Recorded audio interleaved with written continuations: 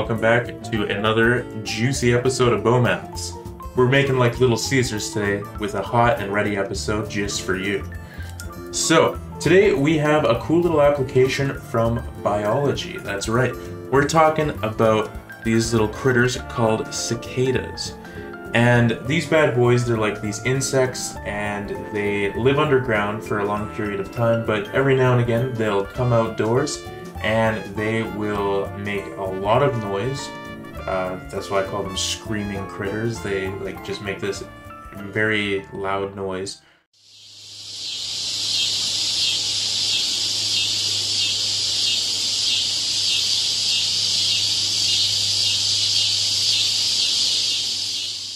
They come in these massive swarms that they can feed, that they can mate, that they can bring about the next generation of cicadas. These bad boys have a really, really interesting life cycle and it connects with prime numbers.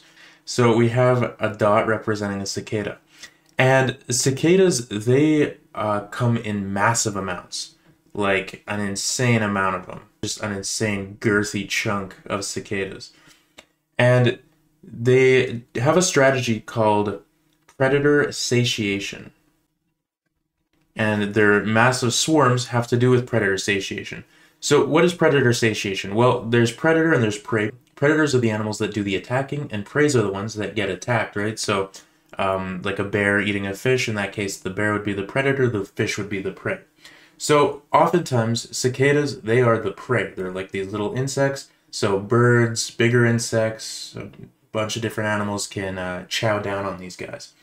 So, what do they have for defenses? Their main defense is in numbers. And so basically, one cicada alone can't really do much. So the idea is, is if you have so many cicadas, a bunch of predators can like nibble you down. So let's say a bunch of predators eat these guys, they eat these guys, they eat these guys. The predators are all getting full on cicadas. There's no more room for them to chow down. But because there's so many freaking cicadas, just by numbers alone, they survive, right? So their main defense is that statistically one of their homies is going to get eaten and they aren't going to get eaten, so they can maybe survive. So that's what predator satiation is just overwhelming your predators in numbers so that at least the majority of you will survive. But the thing is with predator satiation is that if you have your predators, so let's say you got a bunch of birds, I'll use the classic like seagull thing. So if a bunch of your birds eat the cicadas, they have more food, so they can reproduce more effectively. They have a stronger population. So the next year, even more birds come about. And then if more birds come about, they can eat more cicadas. And then the cicada population slowly gets weaker because more birds are eating them. And the bird population slowly gets stronger because, well, there's more birds to eat the cicadas and they can um, just keep growing. So the thing is, is that this predator satiation, it seems like a good idea, except long term, your predator population is going to be getting stronger and stronger and stronger because they keep getting full bellies from your cicadas. So this only works if the predators can sync up with the cicada's life cycle. So what do I mean by this? Well, for the majority of a cicada's life, they spend it underground. And when they're underground, they just feed on um, like the the stuff inside of tree roots and different plant roots. Um, so they're underground for the majority of their lives, but then for a very small period of time, that's when they surface. And when they surface, this is when they're vulnerable, and that's where birds and other insects can chow down on them. But while they're underground, they're relatively safe. So what would happen is that only while they're on the surface can these birds actually chow down on them. All right, so let's say your cicadas, they have a lifespan of eight years. So so every eight years they'll come out to the surface and uh, have some fun. And then let's also say you had a bird population that uh, every four years they reproduce. So that's their average lifespan of about four years. So if we do that, then we see, okay, the birds, they come out every four years. And how frequently are the birds' uh, new generations lining up with the cicadas' uh, old generations? Well, we see that every two generations of birds, it's lining up with the cicadas, right? So that means we're still going to get kind of a problem with the predator satiation not working out where it's happening very frequently where these birds are able to kill the cicadas and eat them. So the bird's population is going to be able to kind of grow around this almost expectancy that the cicadas are going to be there. And let's try another example.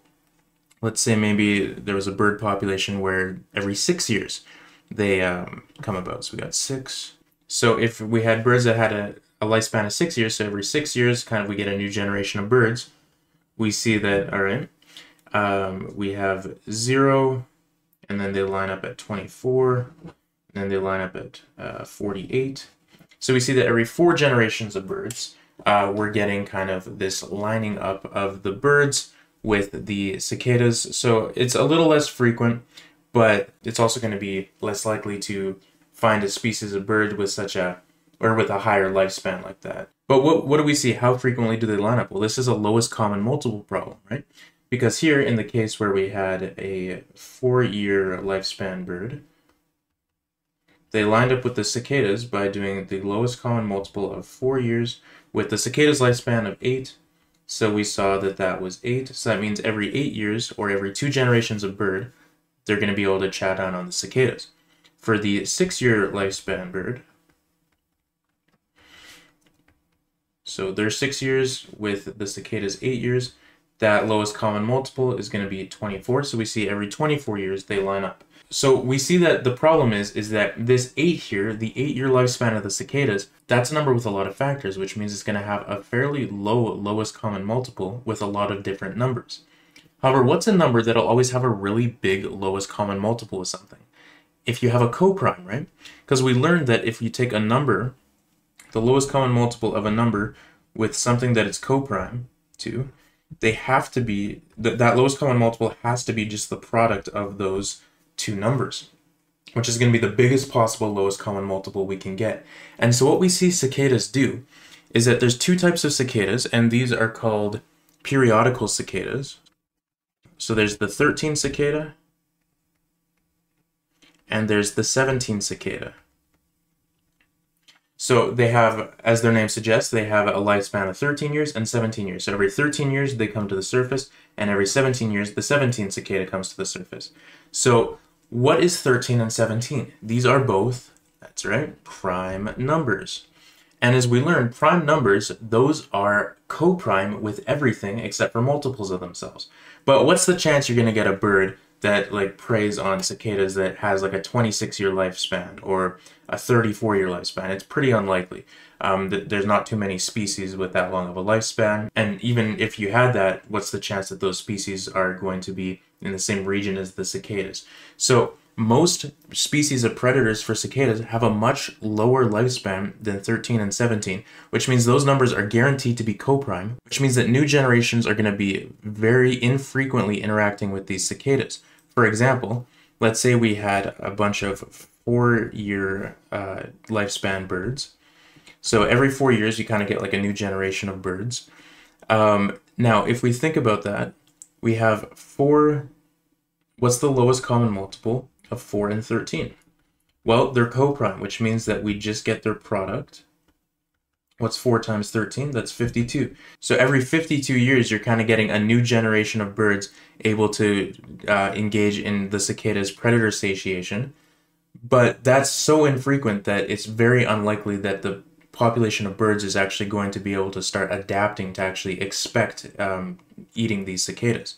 And then similarly, let's say with the 17 year cicadas, what's the lowest common multiple of 4 and 17? Well, that's going to be 4 times 17, which is 68. So every 68 years, you're going to be getting kind of a new generation of birds eating the cicadas because that's their lowest common multiple. But that's so infrequent that your birds are never going to be able to adapt to expect these cicadas, so the cicada population isn't actually going to be hindered by um, their predator satiation strategy. All right, and so you can try this with like several different uh, species. Maybe you can like go and look up some different uh, predators of the cicadas and see what their lifespans are. So maybe, you know, you could have like a wasp that maybe has like a two-year lifespan so let's say we have a two-year lifespan wasp. How frequently is it going to be interacting?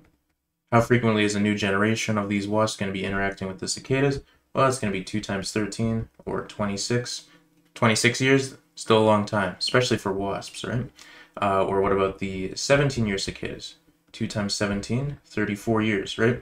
So we see here that kind of using this idea of coprimes giving us the biggest possible lowest common multiple, we see that in nature even, prime numbers seem like it's a good strategy for cicadas to uh, use in order to use their predator satiation strategy without actually hindering their populations overall. And I think it's really amazing that nature kind of ends up developing prime numbers and coprimes as part of its strategies for survival.